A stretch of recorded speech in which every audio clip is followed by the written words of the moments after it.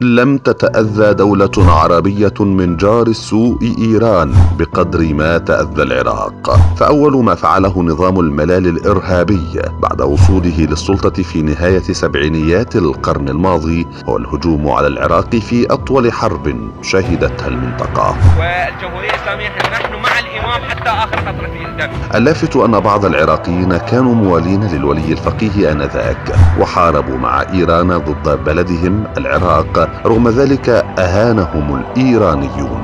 أنا عشت بإيران سنة وكنا رايحين نقاتل مع إيران ضد بلدنا. اللي يعني بايعين أرواحنا. نروح نلجأ لمن للحرس الثوري وتشوف الإهانات والطرد ومن حرب إلى حرب أخرى انهار العراق ودخلت إيران لتعيث فسادا في بلاد الرافدين.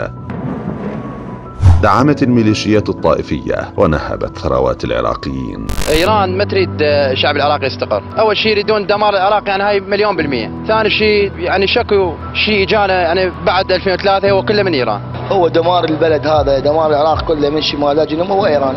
فأذونا حيل اولا قطعوا علينا الماي، ثانيا يعني جاي يصير مشاكل كلها من وراهم، وكل شيء ما مستفادين إحنا من وراهم، يعني بس مجرد دول جوار وهاي هي. وحين انتبه العالم لخطر إيران وعقد العزم على معاقبتها بسبب دعمها الإرهاب، التفتت إيران إلى العراق كي تستغله وتمول من خزائنه أعمالها الإرهابية.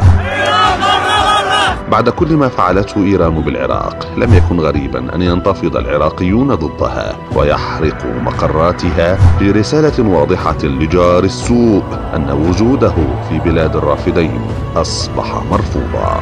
إيران دمرتنا، إيران لعبت فينا لعب، هاي المواد الغذائيه كلها أمراض بسبب إيران، إيران دولة فاسقة،